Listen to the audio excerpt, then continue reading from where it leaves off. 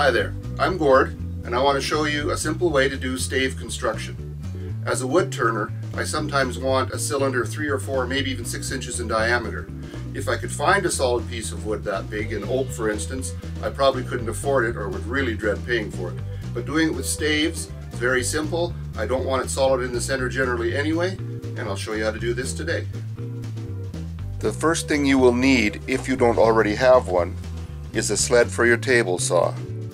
The support board closest to you should be as close as possible to perfectly square to the blade.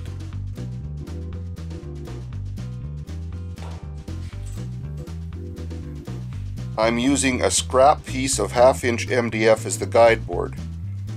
I put an X on the edge that is against the support board so I will always remember to use that same edge. Now I will hold it against the support board and trim the edge so that it is running parallel to the blade.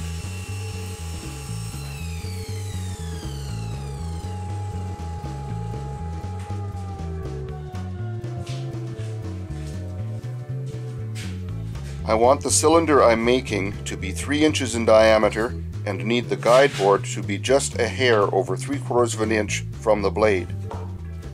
I measure from the edge of the blade slot to the edge of the guide board and then nail the guide board in place.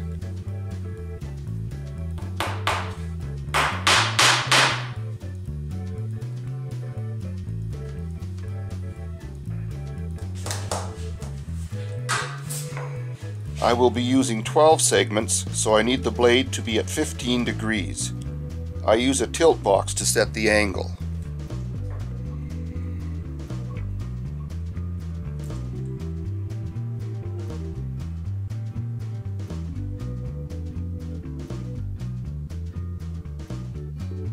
As you can see, the angle is set to exactly 15 degrees. Being out by even a fraction of a degree can be too much, and the greater the number of segments used, the more important this becomes as the error is cumulative.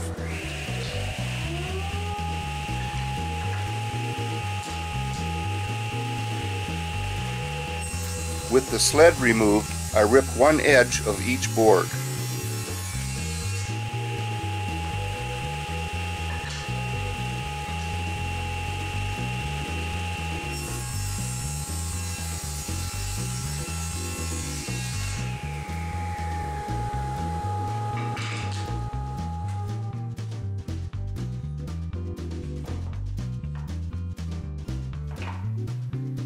With the sled replaced, I can clamp the board down with the beveled edge against the guide board and push it through the blade.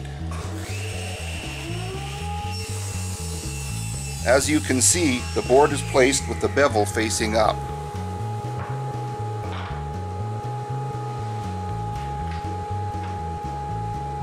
As each stave is cut, I flip the board end for end and place it against the guide board for the next cut.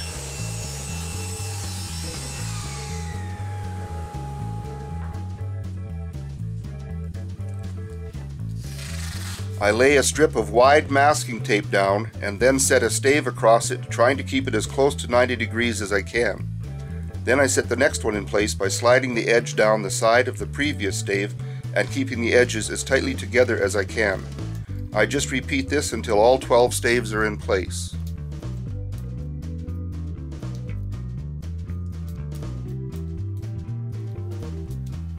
Rolling the staves up into a cylinder, I pull the masking tape around and then check the joints to be sure they are all tight.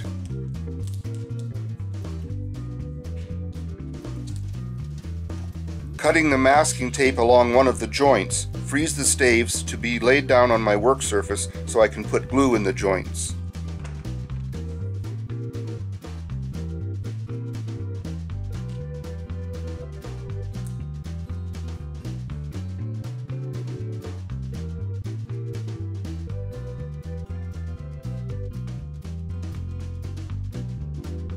I make sure I have plenty of glue, as I would rather have a lot of glue squeezed out than have a glue-starved joint which could come apart on the lathe or just look bad.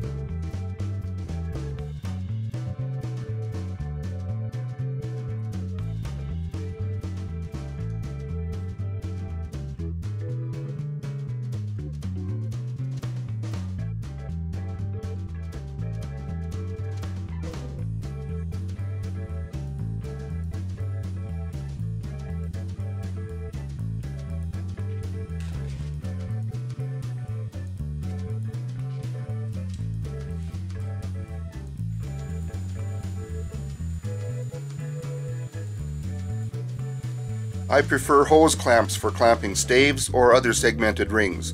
They are quick and easy to use and can be tightened and removed very easily using a drill.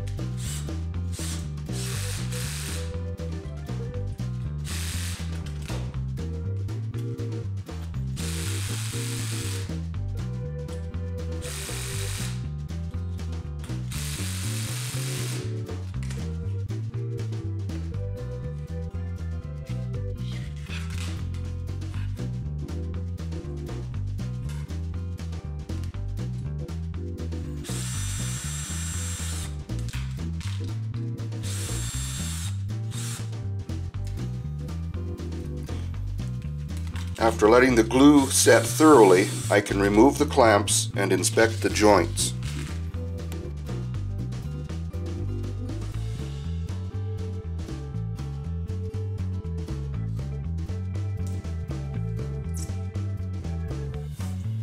Okay, it's finished now. Joints are nice and tight, which was my first concern. And now it's just a matter of putting it on the lathe and seeing what I can make with it.